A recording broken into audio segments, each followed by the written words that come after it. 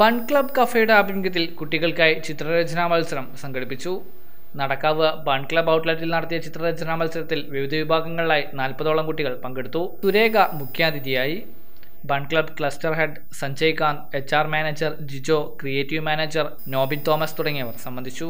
December ഒന്ന് മുതൽ മുപ്പത്തൊന്ന് വരെ ബൺ ക്ലബ് സംഘടിപ്പിക്കുന്ന മെഗാ കേക്ക് ഫെസ്റ്റിവലിനോടനുബന്ധിച്ചാണ് ചിത്രരചനാ മത്സരം സംഘടിപ്പിച്ചത്.